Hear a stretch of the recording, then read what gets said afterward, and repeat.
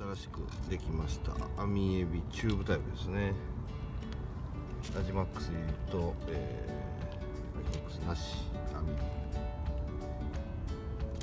手も汚れない。チューブ式、えー、キャップですね。外していただいて。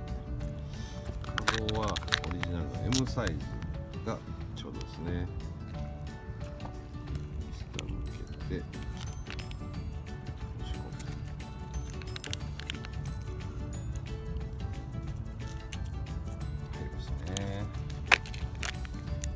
簡単です。第1投目です。水の網エビですね。こちらもチューブ式となってます、まあ、今季初、えー、作りましたので来季もまたいろいろ改良していきたいと思います。こんな感じで。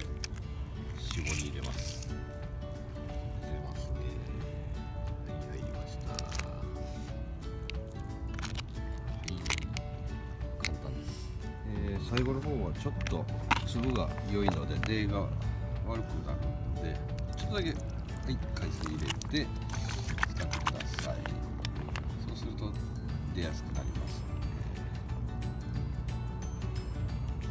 ですね最後まできれいに使います。